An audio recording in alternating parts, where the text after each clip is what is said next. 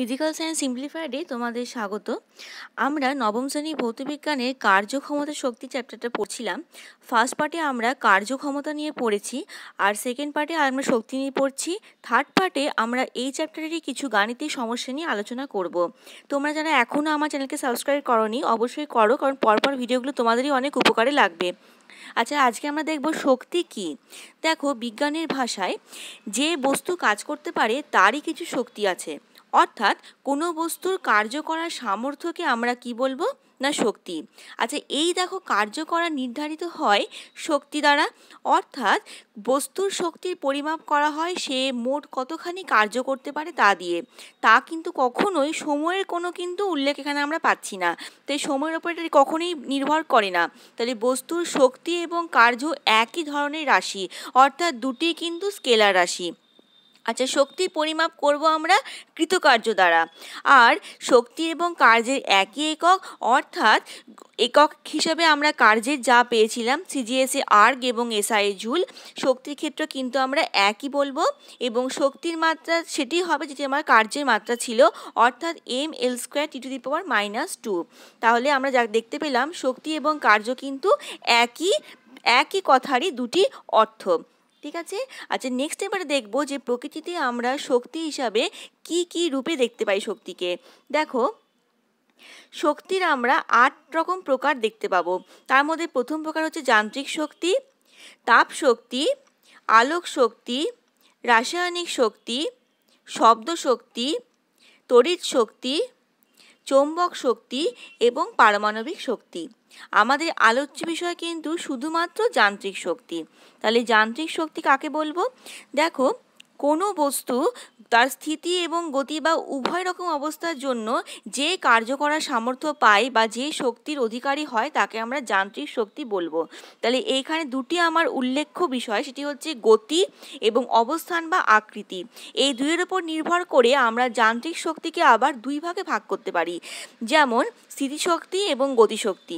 অর্থাৎ কোনো বস্তু তার অবস্থান বা আকৃতির জন্য কার্য করার যে সামর্থ্য পায় তাকে আমরা বলব স্থিতিশক্তি এবং গতিশীল বা গতি গতির জন্য যে শক্তি পাচ্ছে তাকে আমরা বলব গতিশক্তি। অর্থাৎ গতিশীল বস্তু তার গতির জন্য যে কার্য করার সামর্থ্য পাচ্ছে তাকে আমরা বলছি গতিশক্তি। তাহলে নেক্সট আমরা দেখব যে স্থিতিশক্তি কী?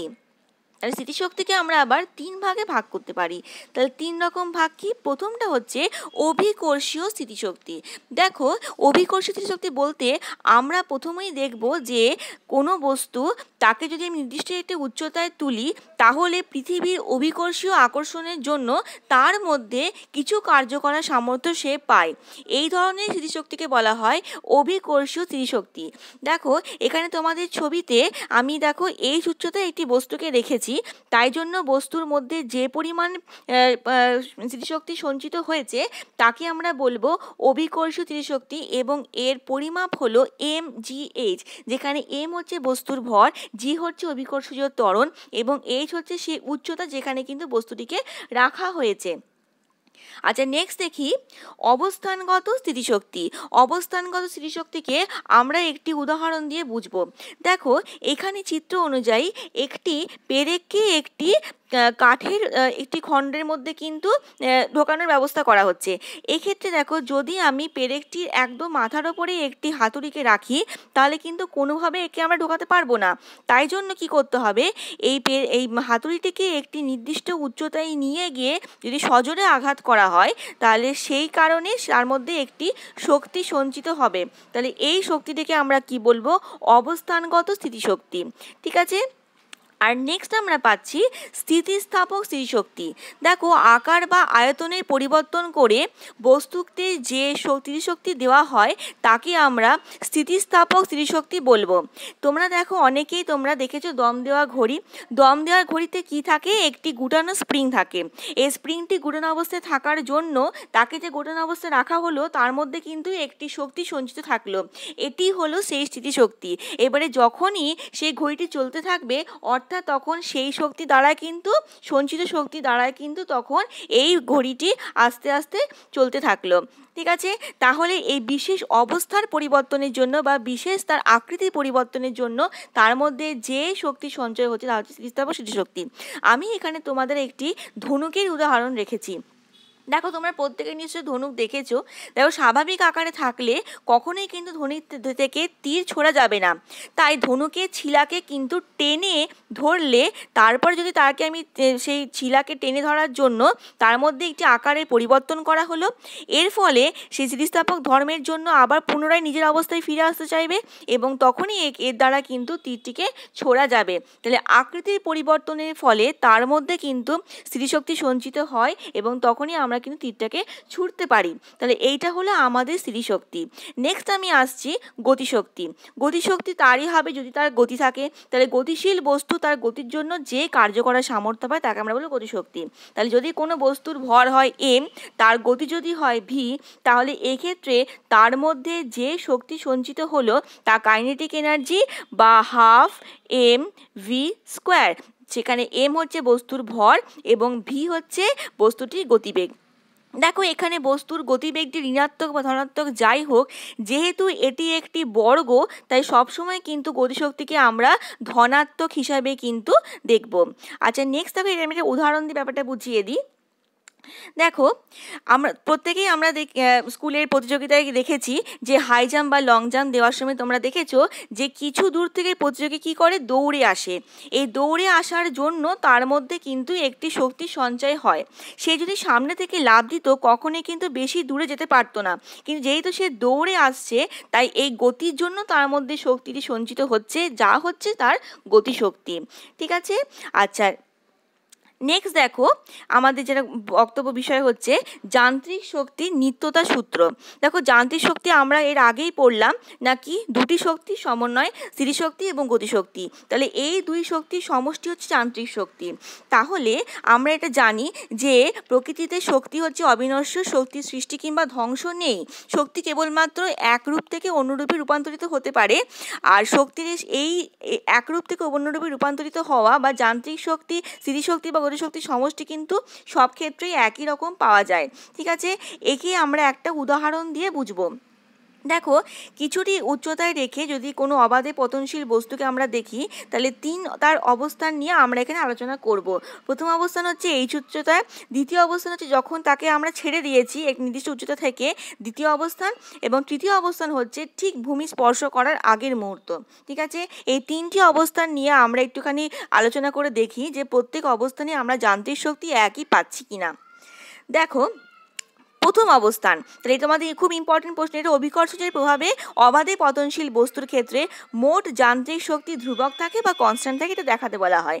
তাহলে প্রথম ক্ষেত্রে অর্থাৎ কেস এতে আমরা বস্তুটিকে রেখেছি কোথায়? না এ অবস্থানে বস্তুটিকে রেখেছি। বস্তুটির ভর হচ্ছে কত? না এম ঠিক আছে? আর বস্তুটি কত উচ্চতায় আছে? ভূপৃষ্ঠ থেকে এইচ উচ্চতায় আছে। তাহলে এই অবস্থায় যেহেতু বস্তুটি স্থির অবস্থায় আছে, তাই দেখো স্থির অবস্থায় আছে, তাই বস্তুটির গতিশক্তি কি? না শূন্য। শূন্য। তাহলে স্মৃতিশক্তি কত হবে? এম এইচ তাহলে মোট শক্তি যখন আমরা দেখব যাতে যান্ত্রিক শক্তি বলছি স্থিতিশক্তি গতিশক্তি সমন্বয় সেটি কত পাচ্ছি আমরা? এম জি এইচ নেক্সট চলে আসি বি অবস্থানে। বি অবস্থানে দেখো, বস্তুটিকে কিন্তু তখন আমরা ছেড়ে দিয়েছি। সে এই অবস্থান থেকে নেমে এসছে এক্স এক্স উচ্চতা সে এক্স দূরত্ব সে অতিক্রম করেছে এবং তখন ভূমি থেকে তার কত উচ্চতা? এইচ মাইনাস এক্স তাহলে এই অবস্থায় সে বি অবস্থানে আছে এবং বি অবস্থানে থাকার সময় দেখো, সে কিন্তু গতিশীল অবস্থায় আছে। তাই তার মধ্যে কিন্তু গতিশক্তি আছে। অবশ্যই সে কিন্তু ভূমি থেকে কিছু ওটা ওপরে আছে তাই তার মধ্যে স্মৃতিশক্তিও থাকবে। তাহলে এক্ষেত্রে আমরা দুরকম শক্তি কিন্তু পাচ্ছি। তো দুরকম শক্তি থাকার জন্য তাহলে আমাকে দুই শক্তিকে কীভাবে দেখাবো? দেখো, তাহলে স্মৃতিশক্তি আমরা দেখছি এম জি আর কত উচ্চতায় এইচ মাইনাস এক্স আচ্ছা গতিশক্তি দেখো হাফ এম ভি স্কোয়ার তাহলে এক্ষেত্রে ভি স্কোয়ার আমরা পাচ্ছি, যে বেগের আমরা সূত্রগুলো পড়েছিলাম, সেখানে বেগে দেখো অন্তিম বেগ সমান প্রাথমিক বেগ, প্রাথমিক বেগের বর্গ প্লাস দুই গুণিত ত্বরণ গুণিত যে উচ্চতায় আছে, যে কতখানি দ্রুত সে নেমে এসছে, দেখো এক্ষেত্রে এ হচ্ছে বা ত্বরণ হচ্ছে এখানে অভিকর্ষ ত্বরণ, তাহলে এ এখানে কত? না জি এবং যে কত দূরত্ব নেমে এসছে সেটা এস এস এখানে হচ্ছে এক্স দূরত্ব নেমে এসেছে। তাই আমি যখন বসালাম, প্রাথমিক কিন্তু গতিবেগ এখানে কত পেয়েছি? শূন্য। তাই প্রাথমিক গতিবেগ শূন্য কারণ বস্তুটি স্থির অবস্থায় ছিল। তাহলে এই তিনটে যখন এই বসাবো, আমি কত পাচ্ছি? ভি মান টু জি এক্স তা টু জি এক্স বসানোর পরে আমি যখন কাটাকুটি করলাম, আমি কত পেলাম? এম জি এক্স পেলাম আমার গতি শক্তি। তাহলে বি বিন্দুতে মোট শক্তি, স্থিতি এবং গতি যখন আমি যোগ করলাম, তখন আমি কত পাচ্ছি? এম জি এইচ ওকে আচ্ছা নেক্সট দেখি, এবারে সি অবস্থানে। যখন বস্তুটি সি অবস্থানে, অর্থাৎ সে সমগ্র এইচ উচ্চতা থেকে নেমে এসেছে, তাহলে তার দ্বারা অতিক্রান্ত দূরত্ব কত না এইচ তাহলে এই অবস্থায় যে অতিক্রান্ত দূরত্ব এর সমান কত না এইচ আচ্ছা এই অবস্থানে কিন্তু তার স্থিতিশক্তি কিন্তু শূন্য, আর গতিশক্তি হচ্ছে সর্বাধিক। তাহলে এই অবস্থানে তার গতিশক্তি শুধুমাত্র আমরা পাচ্ছি, আর স্থিতিশক্তি আমরা শূন্য পাচ্ছি। তাহলে দেখো, তাহলে দূরত্ব এখানে কত না এইচ এইটি বসি যখন আমি একই ফর্মুলায় আবার এই জিনিসটি ফেললাম, তখন ভি স্কোয়ারের মান আমি কত পাচ্ছি? টু জি এইচ একই রকমভাবে এখানে ইউ সমান শূন্যই পাচ্ছি। তাহলে এক্ষেত্রে আমার আর ইয়ে এ ইকুয়ালস টু জি তাহলে একই জিনিস আমি যখন এখানে পুট করলাম, তখন আমি কত পাচ্ছি? গতিশক্তি সমান হচ্ছে এম জি এইচ ঠিক আছে? তাহলে half into M G into H ঠিক আছে? তাহলে এম জি এইচের মান আমি কি পেলাম গতিশক্তি আমি যখন দুটো যোগ করলাম যান্ত্রিক শক্তি হিসাবে, তখন স্মৃতিশক্তির মান এখানে শূন্য গতিশক্তি হচ্ছে এম জি এইচ আর মোট শক্তি কত পাচ্ছি? এম জি এইচ তাহলে আমি দেখলাম যে তিনটি অবস্থানেই দেখো, এটা যে সি অবস্থানে এমজিএইচ এর আগে আমি বি অবস্থানেও পেয়েছি এমজিএইচ আর তার আগে এ অবস্থানেও আমি কত পেয়েছিলাম এমজিএইচ তাহলে এ বি সি তিনটি অবস্থানে আমি কত পাচ্ছি? এমজিএইচ হচ্ছে যান্ত্রিক শক্তির পরিমাপ। তাহলে আমরা বলতে পারি এক্ষেত্রে যে অবাধে পতনশীল বস্তুর ক্ষেত্রে যে কোনো অবস্থানেই কিন্তু যান্ত্রিক শক্তির সংরক্ষণ নীতিটি কিন্তু লঙ্ঘিত হচ্ছে না। ঠিক আছে? আচ্ছা এই টপিক থেকে কতগুলো প্রশ্ন তোমাদের আমি দিচ্ছি, সেগুলো তোমরা নিজেদের খাতায় লিখবে এবং অবশ্যই সেগুলো কিন্তু যত্ন করে রাখবে। আচ্ছা ভিডিওটি ভালো লাগলে অবশ্যই আমার চ্যানেলটিকে সাবস্ক্রাইব করো এবং পরবর্তী ভিডিওর জন্য অপেক্ষা করো।